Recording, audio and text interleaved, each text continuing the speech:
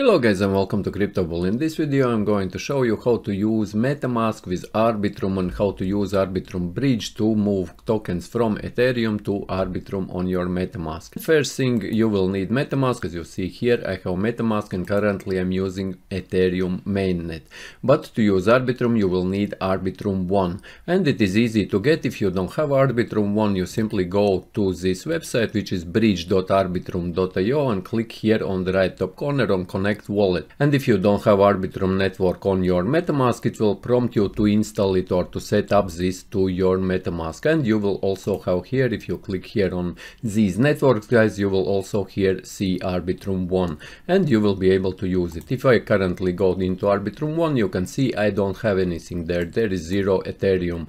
But what we will be doing, we will be now bridging or sending Ethereum from Ethereum mainnet to this Arbitrum network, Arbitrum 1 guys so we can use it and we can pay less transaction fees whenever we interact with applications. And by the way in one of my next videos I will be creating a video how to use decentralized exchange which is exactly using Arbitrum because transaction fees are so much cheaper.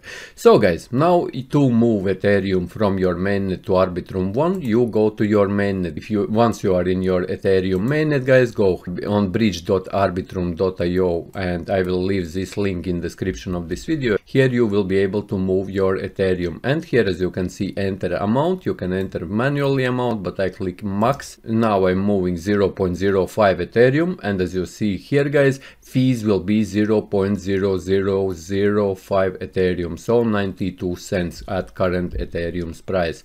And now all i need to do is click here on move funds to arbitrum one. Pop-up of my metamask will come up. And and here we'll scroll down and you can see that insufficient funds. So I will reject this transaction and I will be sending only 0.05 Ethereum. So now I'm entering 0.05 Ethereum. So I have enough funds on my account guys. And now I click again on move funds to Arbitrum 1 and now you will see the transaction will be able to go through. And I did this on purpose guys so you can see that you need to leave some Ethereum for transaction. And after I have done this, click on confirm and you will see that 10 minutes moving at 0.05 Ethereum to Arbitrum 1. And now if I go back to my MetaMask, currently I am in my Ethereum mainnet and as the funds have been moved. And if I will go now to Arbitrum 1, if I click on Arbitrum 1, you can see that there is still not funds, but they will get there in 10 minutes. So yes guys, this was quick video on how to use MetaMask and how to set up Arbitrum 1 on your MetaMask and link will be in description. So yes guys, hope that you found this video useful. If you did, leave a like, share this video, subscribe to my channel if you are new and see you in the next one.